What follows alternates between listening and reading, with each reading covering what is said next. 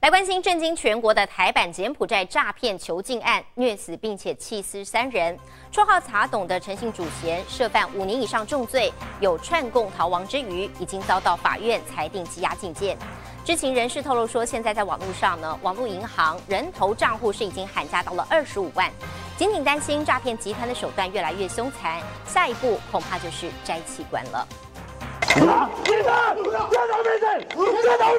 检警破获台版柬埔寨幕后其中一名主嫌，人称奶茶，又绰号茶董。陈姓主嫌涉嫌犯下五年以上重罪，有串供逃亡之余，遭到法院裁定羁押禁见。他把诈骗集团当集中营一样管理，一度要求下属该打就打，该喂药就喂药，但落网后他的嚣张气焰全没了。看到警察部门，还吓到一度放声尖叫。侦讯期间更甩锅，说自己只是干部，全程听从上级指示。走报道，少报道，少报道。